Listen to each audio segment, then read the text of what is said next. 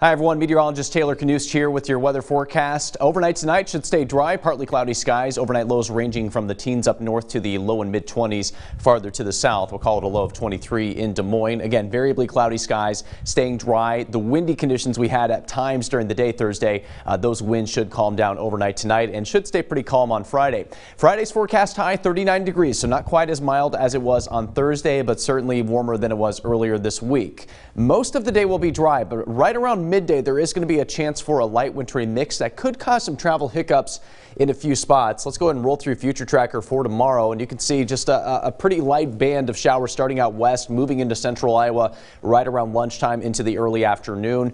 Where exactly our temperatures are when that band rolls through will determine if it's just rain showers like we're expecting down south or perhaps a wintry mix which is more likely farther to the north. That pink would be freezing rain and that is possible in some spots.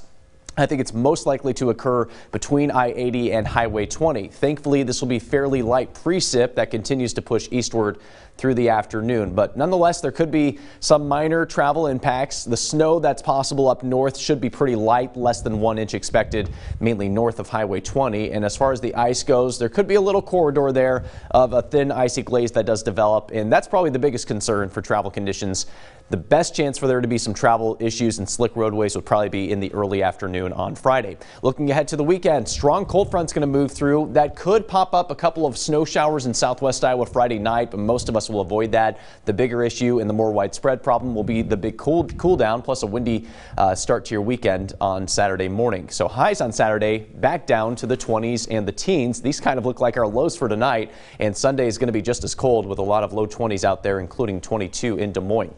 Now looking ahead to early next week, there is a chance someone in the central U.S. is going to get slammed with some pretty heavy snowfall. This is the American model, the GFS, and it's saying that much of Iowa could see some snow Sunday night through Monday morning. On the other hand, the European model is saying that we could see pretty dry conditions on Sunday night through Monday as that snow stays farther to the south in Kansas and Missouri.